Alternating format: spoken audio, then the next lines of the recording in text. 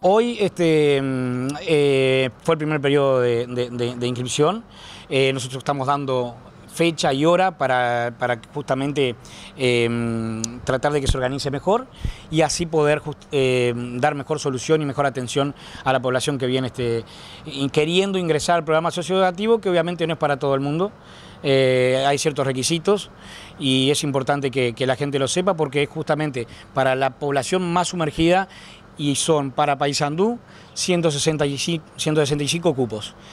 Que uno dice, ¿está conforme con que sean 165 cupos? Bueno, es la misma cantidad que tenía el programa Uruguay Trabaja, más menos, pero se suma a lo que es Jornales Solidario que arranca ahora, se suma a que los 165 no van a depender siempre de ese programa, sino que la idea es que en la segunda etapa se inserten en el campo laboral privado, que es la gran diferencia con los otros programas socioeducativos. ¿Hasta cuándo se va a desarrollar este periodo de inscripción y cuándo se piensa el comienzo de esta...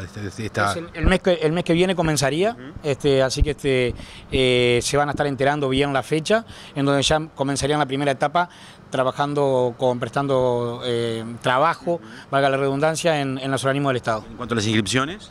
¿Hasta cuándo? Eh, son los 15 días que, siguientes. ¿Y la gente interesada, dónde debe concurrir? ¿Cuándo? como yo digo, esto era distinto que lo que es Uruguay Trabaja.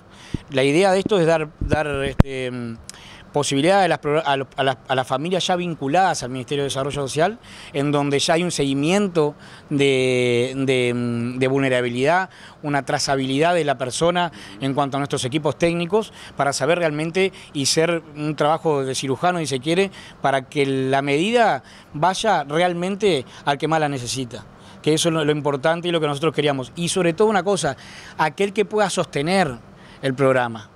Eh, si hay una persona que está en un, está en un nivel de, adicción, por ejemplo, tal, que no puede eh, sostener eh, su sobriedad dos días seguidos, eh, bueno, él requiere otra medida, requiere primero hacer un abordaje técnico de otro programa nuestro, no, no, del programa Acceso. Eso llevó a tener este sistema a que en la primera etapa que pasó, de casi ser la mitad en otros programas socioeducativos del pasado que desertaban, nosotros solamente tuvimos en 180 personas 10 personas que se desvincularon y todo el resto, por suerte, fue encaminada y terminó el programa socioeducativo.